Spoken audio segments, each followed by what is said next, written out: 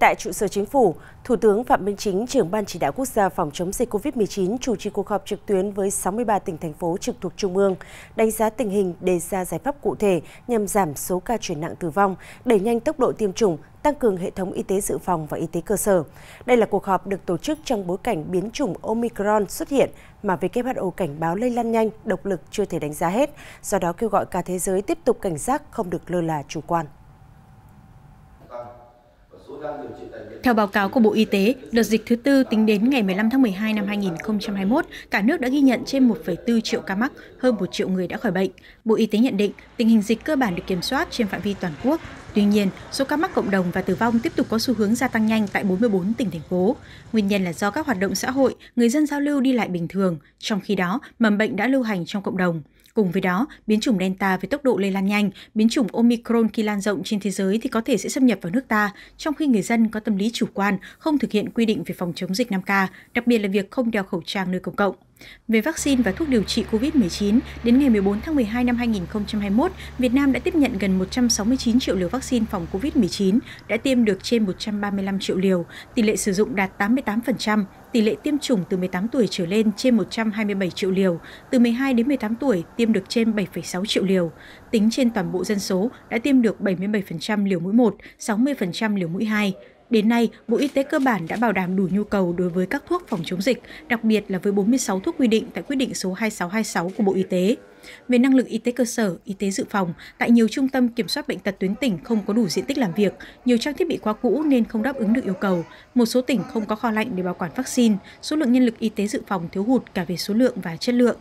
Thủ tướng Phạm Minh Chính nêu rõ, diễn biến tình hình còn phức tạp, biến chủng Omicron theo dự báo cho thấy tốc độ lây lan nhanh hơn chủng Delta, vì thế không được lơ là chủ quan, mất cảnh giác, phải bám sát tình hình, sớm phát hiện chủng mới xâm nhập nước ta. Thủ tướng yêu cầu, mục tiêu của chúng ta phải kiểm soát được tình hình, kiểm soát rủi ro. Vì vậy, cần hạn chế tối đa lây nhiễm cho cộng đồng, giảm tối đa ca chuyển nặng, giảm tối đa ca tử vong.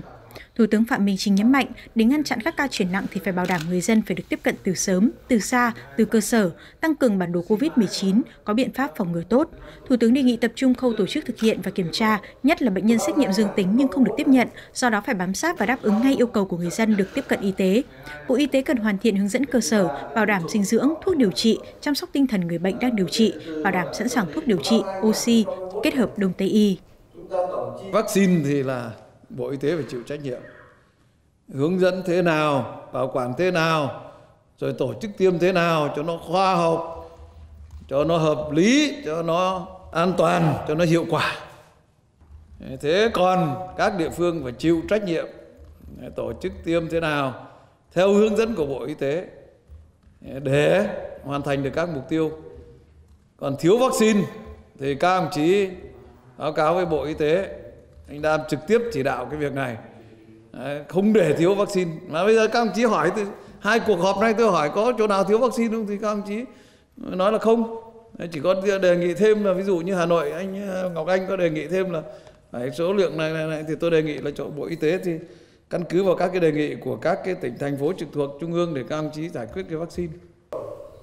Về vấn đề thuốc điều trị COVID-19, Thủ tướng yêu cầu Bộ Y tế khẩn trương ngoài việc xin hỗ trợ thì cần phải chủ động bảo đảm thuốc điều trị, phải bố trí nguồn lực để giải quyết việc này, phải giải quyết vấn đề giấy phép, mua tập trung, nghiên cứu sản xuất trong nước.